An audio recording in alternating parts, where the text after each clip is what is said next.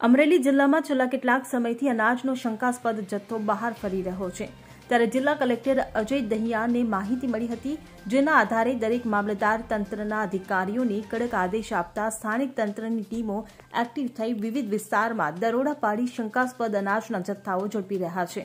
ત્યારે સાવરકુંડલા શહેરના લીલિયા રોડ પર અમૃતવેલ રેલવે ફાટક પાસેથી મામલતદારની ટીમ દ્વારા ઘઉંના કટ્ટા કિંમત રૂપિયા ત્રીસ હજારનો શંકાસ્પદ જથ્થો ઝડપી લેવાયો છે અનાજ સહિત સુપર કેરી નામનું વાહન જપ્ત કરી કુલ બે લાખ ત્રીસ હજારનો મુદ્દામાલ મામલતદાર દ્વારા સીઝ કરાયો છે હાલ મામલતદાર દ્વારા કાર્યવાહી હાથ ધરવામાં આવી છે આ જથ્થો ફેરિયાઓ દ્વારા એકત્ર કરી બારોબાર વેચી રહ્યાની તંત્રની આશંકા જઈ રહી છે જેના કારણે તંત્ર એક્શન મોડમાં આવી તપાસનો ધમધમાટ શરૂ કર્યો છે।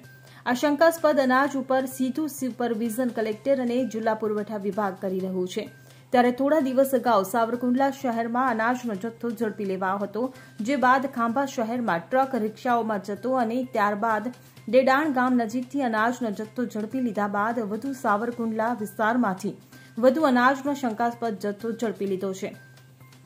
ત્યારે હાલ આ તમામ જથ્થા અંગે તંત્ર ઊંડાણપૂર્વક તપાસ કરી રહ્યું છે. આ કૌભાંડ કોઈ ચલાવી રહ્યું છે કે કેમ? ફેરિયાઓ કોણ કોણ છે કે કેવી રીતે જથ્થો લાવી બારોબાર વેચી રહ્યા છે તે અંગે તપાસ ચાલી રહી છે. Bureau report, CN twenty four news. હવે જુઓ, દેશ દુનિયાની તમામ ખબરો તમારી આંગળીના ટેરવે.